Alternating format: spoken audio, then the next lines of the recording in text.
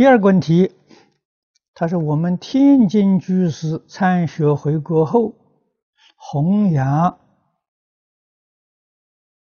佛学文化，啊，把你今生的知识一代一代的传下去，这是很好的，啊，我们做佛的弟子，唯一报佛恩的方法。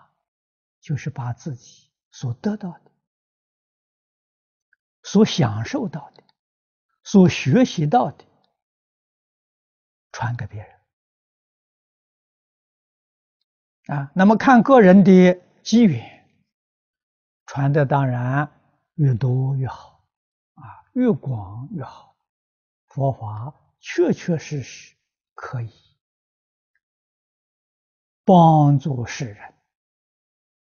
啊，得到幸福美满的生活，啊，帮助世人提高自己的境界，啊，不但这一生好，来生比这一生啊更好。